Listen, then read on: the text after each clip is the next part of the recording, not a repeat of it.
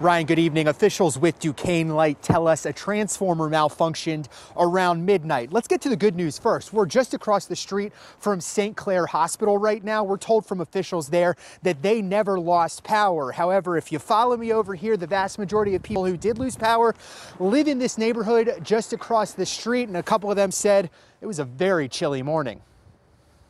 It was just a weird experience. Dolly Rowe woke up confused. She woke up at 1 a.m. a little chilly, but fell back asleep. But then when I woke up about six hours later, my house was really cold. Rowe's house was one of four or 500 Duquesne Light customers without power for much of the morning in the Cedarhurst neighborhood.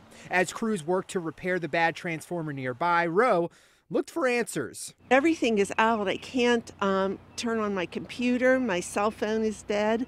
So I decided to um, put my coat on and just come out to St. Clair Hospital and see if I could talk to somebody to find out what's happening. She also couldn't drive anywhere because her car was parked in her garage, the door for which needed power to open. Fortunately, she found Pittsburgh's Action News 4 photojournalist Andy Benish, who was able to update her prior to talking to you, I didn't even know what time it was. Because of the cold, Mount Lebanon opened up its municipal center for any residents who wanted to warm up. Municipal manager Keith McGill. We thought we needed to take some action because Duquesne Light indicated it would be a period of time before they were able to rectify the situation. The shelter didn't see too many people as power was restored to the neighborhood around 11 a.m. Dolly Rowe says she's thankful it was a short outage, albeit a chilly one.